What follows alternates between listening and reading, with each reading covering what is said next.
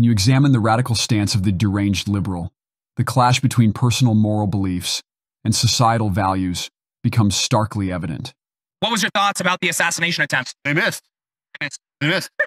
Do you, you, Yeah, um, he should have died. He's not good for this country. and He never will be. Wow. He's the worst person that could be ever in politics. He's not even a so politician. you're disappointed that the shooter missed Donald Trump. Hundred percent. Hundred percent. No, no, well, nothing. Do you he should have do you- died. She doesn't like him as much as I do, but she's a little more sympathetic to Do people you dying. think that the shooter was justified? he did what he wanted to do. Do you think it was justified? Like, do you think do you think In he his sh- eyes, I'm sure it was. But you know what? Since he missed, I can guarantee there's going to be 100 people that are going to try mm-hmm. to not miss. would you support that? Yeah, 100%. He doesn't need to live. He doesn't need to be a president. So hold on. 100%. Yeah. Why why so much hatred for Donald Trump? Because for one, he's a sucker.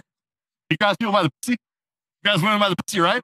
All right, wait, we're done. Have a good day. Oh, re- re- really quick, really quick. I want to know. You know, it, what, Your mic. it's, it's pretty shocking what you're telling me right now. No, no, no, no. I know it's not shocking. High value for social order and stability. Supporting political violence poses a dire threat to these principles. The comments of deranged liberal strike at the heart of a stable society, challenging the fundamental tenets like the peaceful transfer of power and respect for human life. Their nonchalant attitude towards assassination is deeply troubling, as it starkly opposes the conservative ethos of preserving life.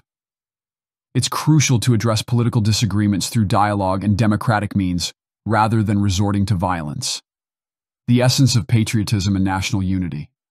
The harsh divisions and venomous rhetoric seen in such discourse erode our national identity and solidarity.